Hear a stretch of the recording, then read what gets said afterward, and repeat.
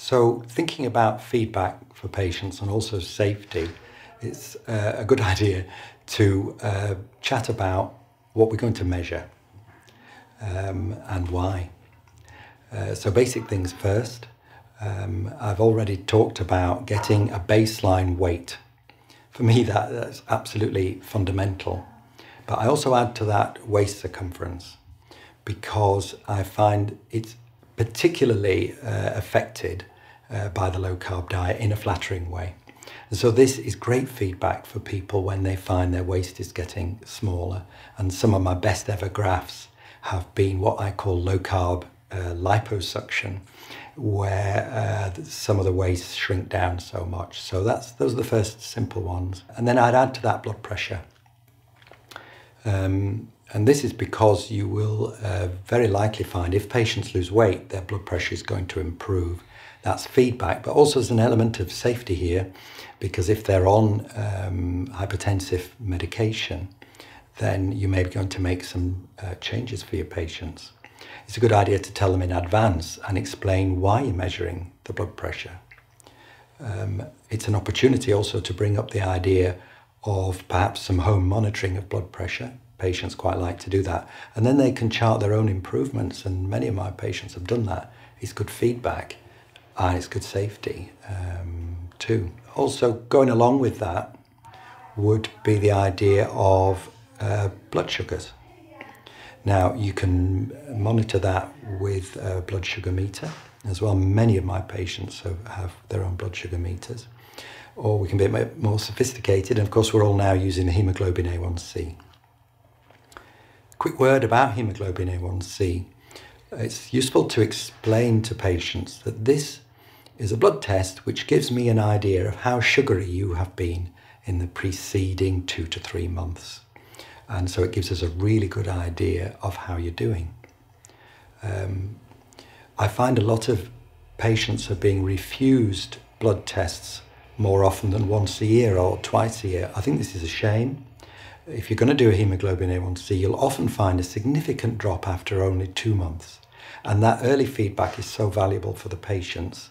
So personally, I'm getting a baseline hemoglobin A1C, and then I'm going to be repeating that blood test after two months because it gives me an idea of, of, of how they're doing.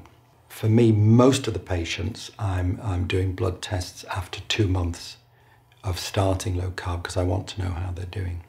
Other blood tests.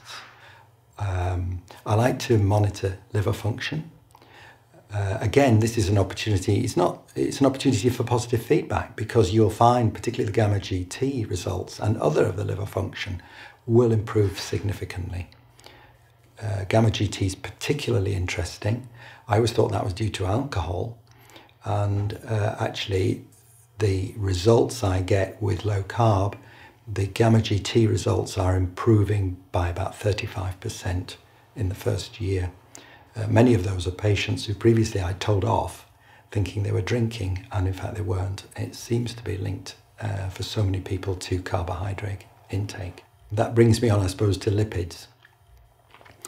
Um, I always get a, a, fasting lipid profile to start with, and then I'm going to be doing that again um, after two months.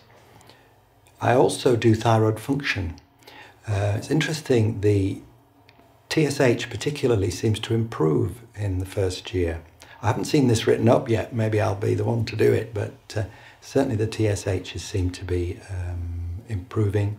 The other thing I'd say is do a full blood count as well, because you can't really interpret a hemoglobin A1C without knowing what the full blood count is. I'll illustrate that. I had a case recently of a seemingly wonderful hemoglobin A1C, a really low result and uh, that was actually because of anemia. So somebody with anemia will have a low hemoglobin A1C and it isn't good news.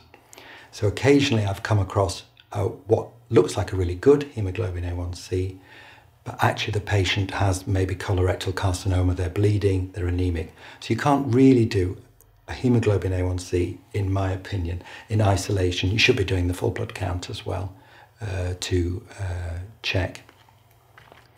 One thing to look out for while you're measuring, if somebody is uh, losing weight and the hemoglobin A1C isn't improving, you really need to ask why is that? Why is that? Because it could be um, that you, you've missed a pancreatic carcinoma, something like that. So that pattern of uh, weight loss without an improvement in hemoglobin A1C should be a, a cause of interest and you need to go a bit uh, into that a bit more. Moving on now into record keeping. Um, I think it's really useful to build up a file of evidence of, of what we're doing. So in this practice, uh, for four and a half years now, patients who are serious about this, we actually consent them to sharing their anonymized data. So that means I have a database um, of a cohort now about 150 or 160 patients over the time that I can share with other people showing evidence of what we're doing. Uh, so that's worth bearing in mind. The best way to keep your database is something like an Excel spreadsheet uh, so that you can keep updating it.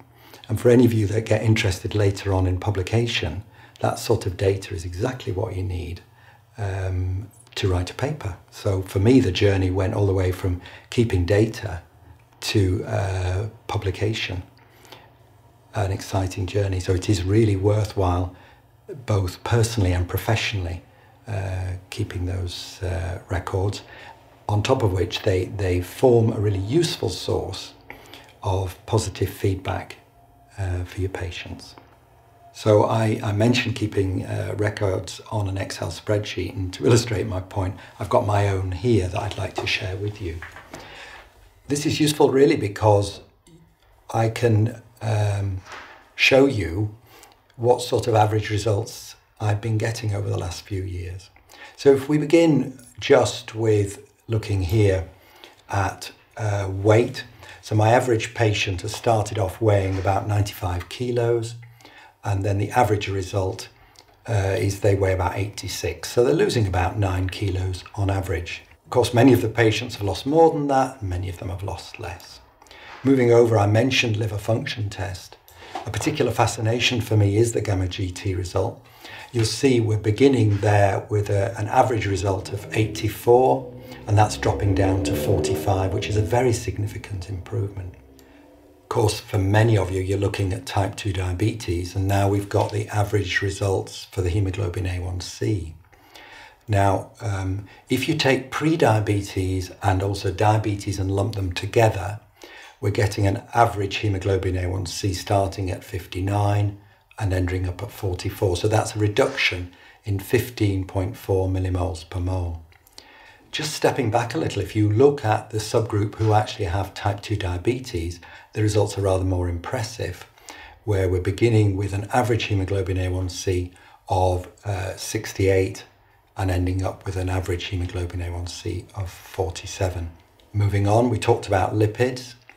Interestingly, again, looking at my sheet, we get a slight drop in the serum cholesterol on average. So you'll see it starts off on average 5.3, we end up at 4.9. It's not a big drop, but it is actually uh, a significant one.